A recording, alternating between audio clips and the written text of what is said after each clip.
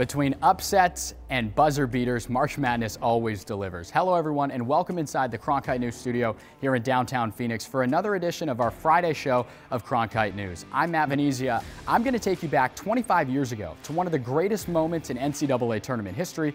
But before that, we're going to hear from Noelle Blumel as she examines one of the remaining Final Four teams and its unique ties to the Valley.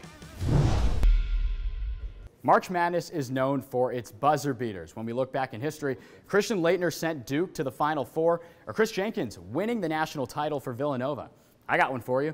Bryce Drew, 25 years ago, created a Cinderella story for Valparaiso as Valpo upset Ole Miss.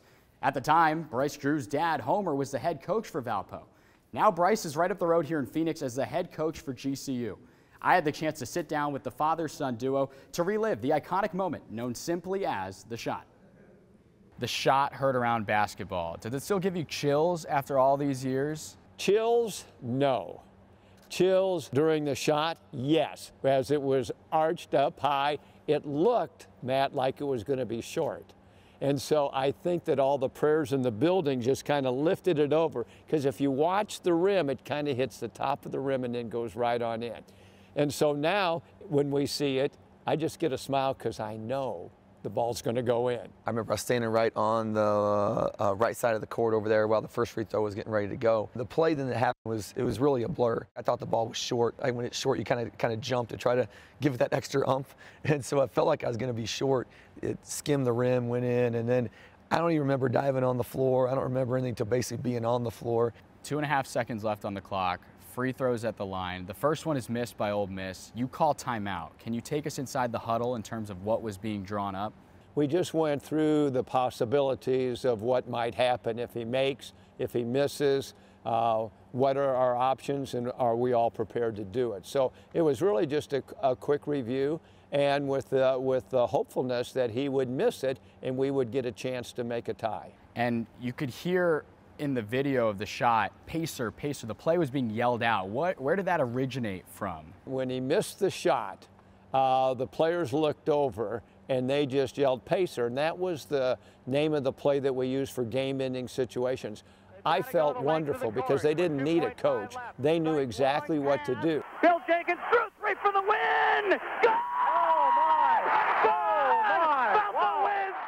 And Bryce, 25 years later, every time March Madness rolls around, you're still hearing about the shot. How does it feel to still be brought up in terms of one of the greatest moments in March Madness history? It's a special blessing, you know, um, basketball family. Um, my brother coaches at Baylor now won the national championship. So we've been, we've been, you know, our, our lives, a lot of have been, our schedules are entertained and, and around the NCAA tournament. So um, for have that moment in the tournament for something that we've dreamt of our whole life um, is very special and now get to see the highlight years later, you know, makes it even more special. And on top of that, I mean, after all these years now, to share it in a father-son relationship. What was that like, being on the floor and seeing your dad and having that moment together? You know, we've always had a really close relationship. That's probably the reason why I went to play for him, um, you, you, know, at Valpo. And at the time, it was very special. But as you've gotten older, and now I have a son who's eight, um, it's even more special to me.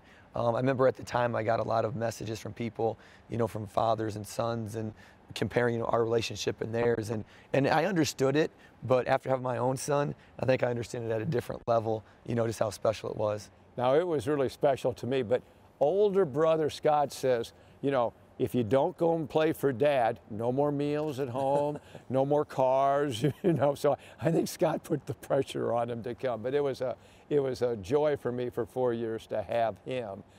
70 to 69, the kid performs another miracle.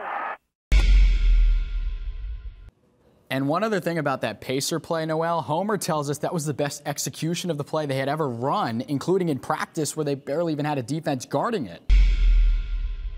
The Suns host the Denver Nuggets tonight at Footprint Center, and with six games left in the regular season, we'll see if the Suns can build on these games going into the postseason. They'll still see the Nuggets one more time after this game and see if they can use that momentum with Kevin Durant now back in the lineup heading into the postseason. Our Noel Blumel sat down with Tom Leander, the Suns TV host, to get some of the answers involving the Suns and the postseason.